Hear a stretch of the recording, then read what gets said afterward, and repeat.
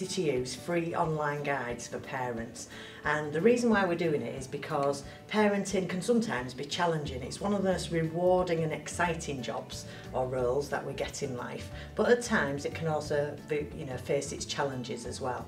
So what we're trying to do by the launching these guides is give parents something that's really easy to access, free, easy to use so you can do it at home uh, on your tablet or your PC or on your smartphone um, and it really helps to helps parents to understand their child um, think about things like coping with crying, helping them to understand sleep patterns, etc. And as childs are developing and growing, as children are developing and growing, um, helping them to understand how that development is affecting their behaviour so that they can be the best parents they can be. We've got some fabulous parents who are doing great jobs in Hull and we thought we'd just give them a little bit more help uh, to help with those challenging moments.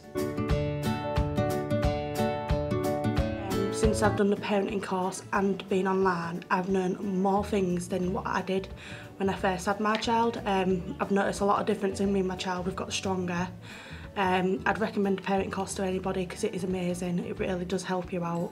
It because like starting to understand my baby more, like different kicks and what they mean and stuff like that.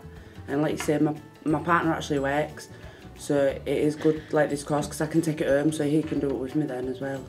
Obviously children go through different stages and different behavioural issues um, and this um, is like, like I said, from pregnancy up to 19 plus so it's like you covered if you need to know when you're I found it really, really useful. Um, there's been lots of things in there that I hadn't really thought about. He's my second child, and uh, it's been really helpful to uh, think a bit more about um, the way in which their brain develops and uh, how that relates to our relationship. Um, and it's been really useful thinking about the things to look out for, um, the different development to uh, observe, and that's been really interesting.